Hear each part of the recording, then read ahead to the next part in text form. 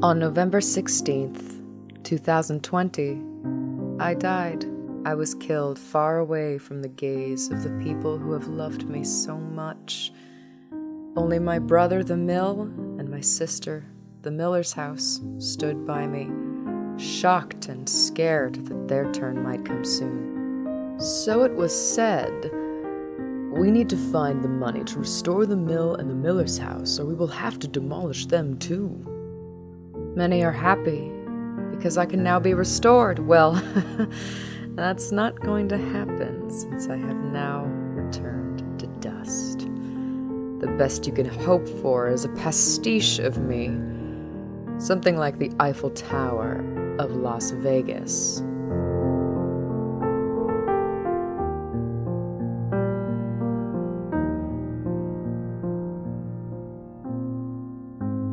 Before telling you my story, let me introduce you to Mother. Her rich, sandy soil was perfect for pines to grow tall.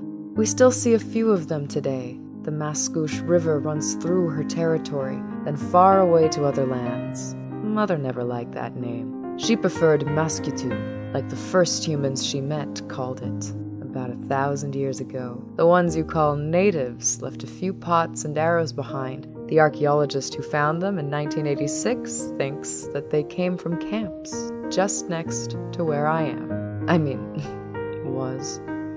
After a few centuries of peaceful hunting, the Compagnie de Nouvelle-France founded the Seigneurie of Repentigny in 1647. Truth be told, not much happened.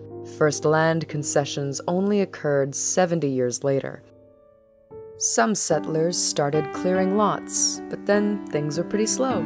It changed when my big brother was built between 1751 and 1755. The mill gave access to lumber, meaning it became easier for settlers to build houses.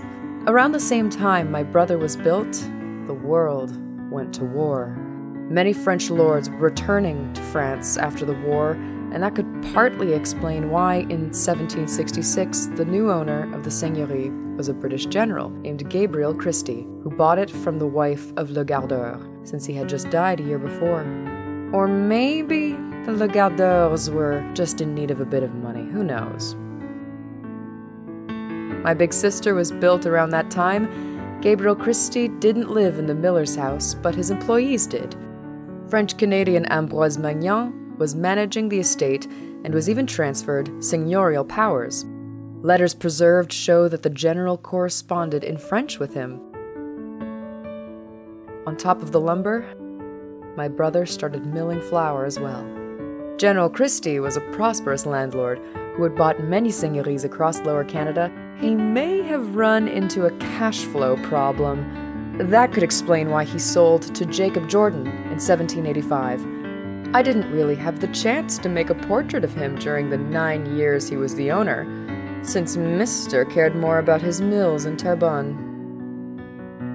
Things started to become interesting, at least for me, when this gentleman, after hunting for furs all across the continent, decided to settle down in Mascouche. He must have been tired a bit, and deep pocketed. Anyway, that was very good news because a star was born.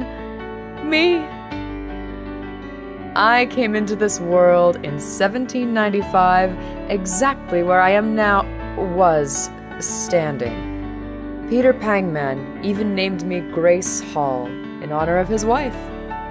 Isn't it lovely? I must have made a really good impression on people, because this is when there was a beginning of something of a village with the arrival of the first English speakers.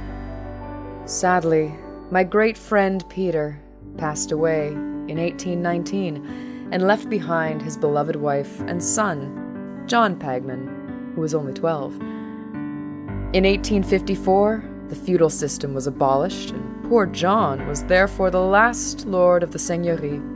He was a bourgeois who was enjoying the social life of private select clubs that didn't mean he didn't care for me and the estate. Actually, he improved the mill's gear system, which helped to increase productivity. He also built the little church at the top of the hill in 1840. It's still there today, and it's one of the oldest Anglican churches in Quebec. It was also named Grace, after his mother. When John Henry took over the estate after his father's death, the Pangmans started to lose interest in me. I mean, they had expanded their empire and diversified their assets, so we were not the center of attention anymore. John Henry was putting more time and energy in Saint Lin, where he built another mill, a chassis factory, and where he was the president of the railway. In 1880, when he was decapitated in a train accident, how ironic, the business was so all over the place that his children didn't want us and put the estate up for auction. The Corbeys were completely different than the Pangmans. They weren't rich, nor had traveled the world, but were hardworking locals who put up the money and bought the estate. Their vision was to make the best out of what we could offer, and they did. They invested in a steam engine that tripled the mill's production. Take that, John Henry. They also improved the dam by rebuilding it in poured concrete. That prevented recurring spring floods from happening. One of them had caused the tragic death of a little boy in 1885. As for me, they kept me exactly as I was. In 1927, while the Corbeys heirs were working and enjoying life with me, this gentleman, Pierre Georges Roy, an important historian, changed the course of my life by publishing this book about historical houses where we appeared. What made Mrs. Colville fall so deeply in love with me after reading that book, I'm not sure. One thing I know is that she wanted me badly. She made numerous attempts to buy the estate from the Corbeys, but they rejected all her offers. They didn't want to move. Business was good. Life was good. In an ultimate effort, Mrs. Colville convinced the Corbeys to sell her the estate. She had big plans for us. I became this arts and crafts inspired manoir that won the Royal Architecture Institute of Canada's first prize for restoration of residences. Some newspapers were citing us as one of the most beautiful estates in North America. After a long career in milling, my brother took his retirement and became a garage, and my sister lodged Mrs. Colville's chauffeur and other members of staff. I finally entered modernity by receiving electricity. What's little known is Mrs. Colville was a gentlewoman farmer who liked technological improvements. She even participated in exhibitions and won prizes. In 1932, Le Devoir published an article where I was mentioned as a historical house. The following year, Mrs. Colville tried for the first time to have me recognized as a historical house, part of the built heritage. A few years later, in 38, she invited the Historical Society of Joliette to visit me, but again, her efforts for some official recognition and, of course, protection were in vain. At the beginning of the 50s, Mrs. Colville's health was declining, and she sold the estate to the Saint Gabriel brothers. The project the brothers had in mind was to build a seminary for the future priests of their congregation. The school and gymnasium were built in a way that we were now hidden behind them. Students didn't have access to us. That was reserved for the brothers and for the teachers when it became a secular school in the 70s. In 1973, a group of youngsters wanted to promote historical sites in Mascouche, and of course, we were part of it, but it didn't work out. Five years later, a group of citizens signed a petition, and even the mayor of the time wanted to have the estate classified and protected. That didn't work either. After an evaluation of the heritage potential mandated by the city of Mascouche and the Ministry of Culture, the Historical Society of Terrebonne presented a project that would have prevented, again, what happened to me last fall. Guess what? It was denied.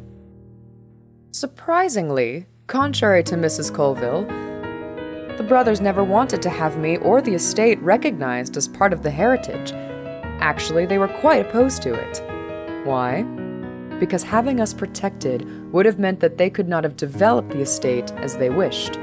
Also, they feared that us being cited as historical would bring a flow of unwanted strangers. Simple as that. At least, the brothers took care of us and maintained us in good condition, as opposed to what happened after.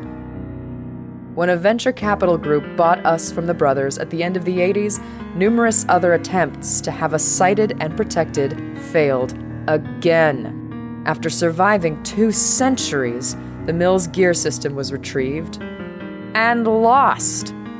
How is that even possible?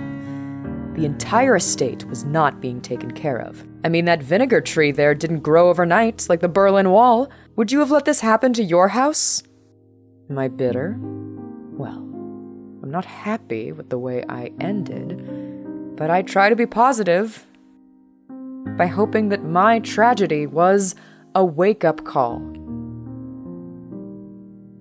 What I am is scared. Scared that other heritage buildings find the same fate as mine.